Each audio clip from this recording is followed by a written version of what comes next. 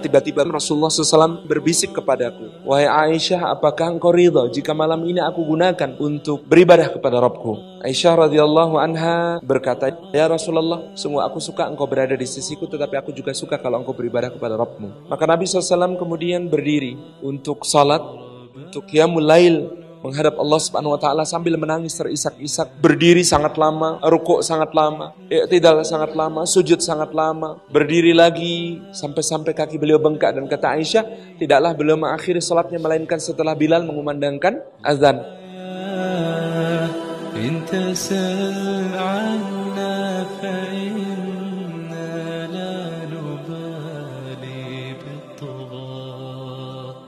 نحن جند